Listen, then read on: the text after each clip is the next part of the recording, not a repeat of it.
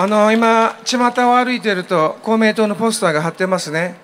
小さな声を聞く力って書いてますけども。なんで沖縄の 4, 4回の選挙ありましたよ。全部辺野古新基地建設反対の候補が勝ちました。なんで沖縄の民意を、沖縄の大きな大きな声声も聞けないくせに、小さな声なんて聞くことできないじゃないですか、皆さん。どこの遊説先でもですね、あの創価学会の方が、特に婦人部の方が、今、公明党おかしいです、創価学会おかしいですと、切実な声を届けてくれたんですよ、太郎さんに。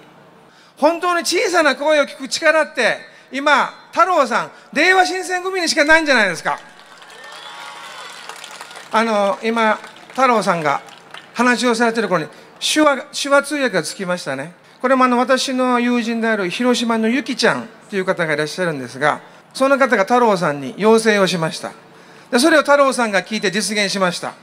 これこそ小さな声を聞く力じゃないでしょうか、皆さん。社会の不条理と戦ってこそ、本当の政治家です。そんな企業とか、あの、あっちこっちに忖度している政治家なんてもういりませんよ。